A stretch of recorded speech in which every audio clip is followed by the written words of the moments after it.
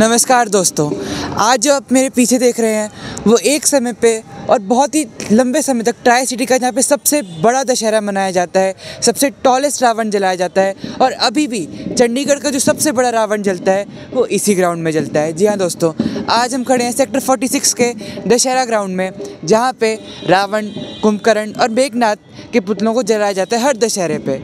और इस ग्राउंड की सबसे मतलब सिग्निफिकेंस ये कि यहाँ पे मतलब इतना बड़ा यहाँ पे क्राउड आता है, दस हज़ार लोगों के बैठने की यहाँ पे जगह बना रखी है।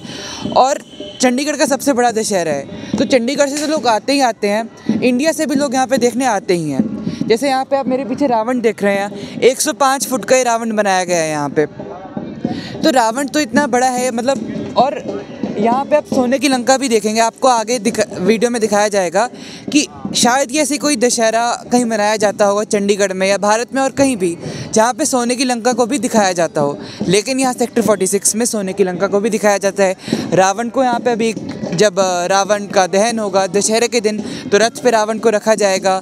और टेक्नोलॉजी का भी यहाँ पे बहुत भरपूर यूज़ किया गया है। क्योंकि यहाँ पे जो चीफ़ गेस्ट आने वाले हैं, जो मनीष तिवारी जी हैं, जो कि सांसद है चंडीगढ़ कॉन्स्टिट्यूंसी से, चंडीगढ़ के जो मेयर है, वो भी आएँगे चीफ गेस्ट के रूप में यहाँ पे। वो सब एक रिमोट से मतलब रावण को दहन करेंगे। उससे मतलब सेफ्टी भी रहेगी सभी के लिए। और दूसरा, ये जो रावण का चेहरा है, ये वन एट्टी डिग्री घुमाया जाएगा, जिससे मतलब चारों तरफ़ रावण देख पाएगा। और जो कई तरीके के इसमें पटाखे लगाए गए हैं। और सबसे बड़ी बात इस रावण में और तीनों ही पुतलों में ग्रीन क्रैकर्स का यूज़ किया गया है। तो फिर हमारे पर्यावरण को भी कोई नुकसान नहीं होगा। दस हज़ार लोगों के बैठने के लिए जगह बनाई गई है यहाँ पे तो आप ज़रूर आएँ इंजॉय करें। तो हम मुकेश जी से पूछेंगे जो इस आ, संस्था से जो कमेटी है उससे काफ़ी लंबे समय से जुड़े हैं और सेवा अपनी दे रहे हैं यहाँ पे। और यहाँ इनके मीडिया कोऑर्डिनेटर भी हैं तो उनसे भी हम जानेंगे इस कार्यक्रम के बारे में। नमस्कार। सबसे पहले ये बताना चाहता हूँ ट्राई सिटी में जो well managed and well publicity होती है, दशहरा लोग यहाँ बड़ी दूर दूर से देखने आते हैं। यहाँ की खास बात ये है कि यहाँ पे चंडीगढ़ का सबसे हाईएस्ट रावण होता है और कुंभकर्ण के पुतले लगाए जाते हैं। और सबसे बड़ी बात, जो सोने की लंका है, ये सिर्फ़ यहीं दिखाई जाती है और ताकि थोड़ी और इसकी अट्रैक्शन बढ़ जाती है। इसके बाद दरबार लगाए जाते हैं। कल को जब रावण जलाएँगे रथ के ऊपर रावण सवार होगा नीचे। और उसके बाद जो रावण को आग लगाएँगे, वो 180 डिग्री पे उसका चेहरा घूमेगा। उसके बाद आँखों में से अंगारे निकलेंगे, नाभि में से नाभि कुंड निकलेगा। और ये खास विशेषताएँ और इसके साथ यही बताना चाहूँगा कि जो रावण मेघनाथ और कुंभकर के पुतले हैं, इनको स्टेज से ही रिमोट के द्वारा अग्नि भेंट किया जाएगा। और इस मौके पर चंडीगढ़ के जो सांसद हैं मनीष तिवाड़ी तो वो मुख्य मेहमान हैं और शहर के जो मेयर हैं कुलदीप कुमार जी वो और यहाँ के वो विशेष मेहमान रहेंगे। सर आपके हिसाब से यहाँ पे कितने लोग आने की उम्मीद लगती है आपको? देखो हर साल यहाँ लाखों लोग आते हैं इस बार भी एक लाख से ज़्यादा लोग आने की उम्मीद है, पूरी उम्मीद है। और इसको लेके ट्रैफ़िक एडवाइजरी भी जारी की है। लोगों से मैं अपनी तरफ़ से प्रार्थना करता हूँ कि जो अपने वाहन हैं, वो सेक्टर पैंतालीस में या छियाली की मार्केट में खड़े करके आएँ। क्योंकि यहाँ पे जब आ तो जाओगे, उसके बाद जाना दो दिन, तीन घंटे जाम लगता है और बड़ी मुश्किल आती है। इसके लिए लोगों से ही है, भी आप कोशिश करें वो अपने घर से या दूर वाहन करके पैदल यहाँ मेला स्थल में पहुँचे। दशहरा एक ऐसा पर्व है और इस ग्राउंड की खासकर एक बहुत ही खास बात है कि लोग बिना धर्म को देखते हुए यहाँ पे हँसी खुशी से त्यौहार को मनाते हैं। ऐसे हमारे साथ सर हैं जो कि मैनेजमेंट का भी हिस्सा है। उनसे हम उनके व्यूज़ लेना चाहेंगे। हाँ जी। हम जैसे कि बहुत टाइम से दशहरा कमेटी में हम से जुड़े हुए हैं। वैसे भी हम छोटे होते थे, हम तब से यहीं आ रहे हैं क्योंकि पच्चीस, छब्बीस साल इसको बनाते हुए हो गया। तो तब से हम छोटे होते थे, लेके आ रहे हैं। अब मेरे दो छोटे बेटे हैं। अब इनको लेके आते हैं इनको दिखाने आता है।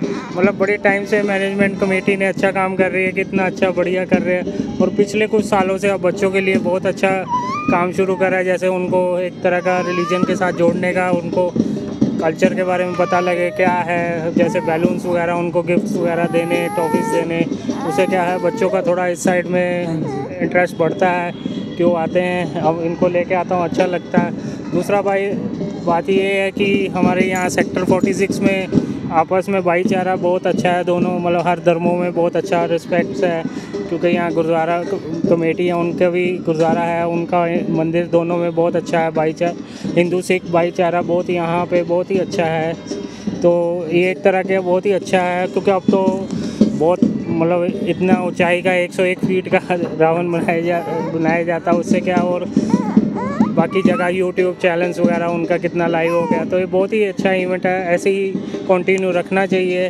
क्योंकि देख लो, अब जनरेशन से जनरेशन आई जा रही है। पहले मैं आता था, देखो, अब आगे मेरे बच्चे आ रहे हैं तो ऐसे कंटिन्यू रहे, ऐसे चलता रहे तो बहुत अच्छा लगता है। क्योंकि बाकी सारा चीज़ों का ध्यान रखा जाता है कि कोई मिसहैपन वगैरह ना हो जाए।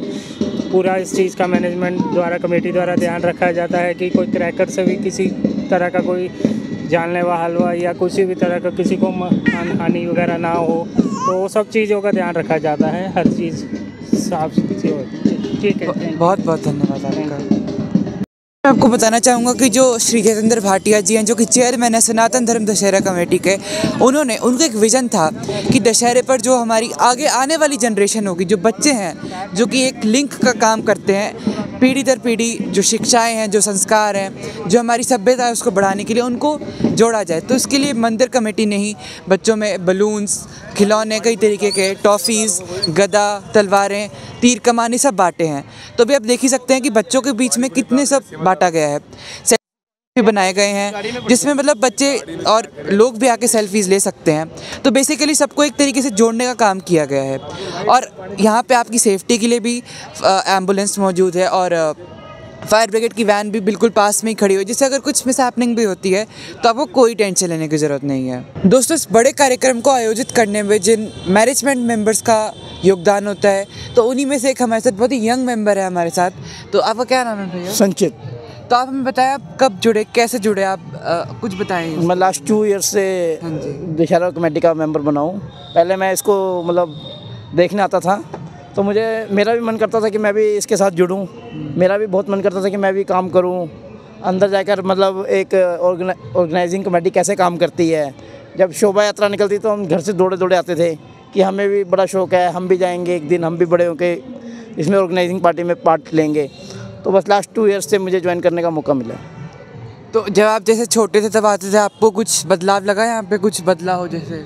आगे आगे जैसे हर हर साल कुछ ना कुछ नया देखने को मिलता है। जैसे अब लास्ट टू ईयर्स से मतलब दशहरे से दो दिन पहले बैलून्स टॉफ़ियाँ और जो बच्चे को मतलब तलवारें गुर्ज वगैरह देते हैं वो उस टाइम में हमारे टाइम में नहीं होता था। ये अब नेक्स्ट ईयर हर साल बढ़ता ही जा रहा है कुछ नया नया हो, हो ही रहा है।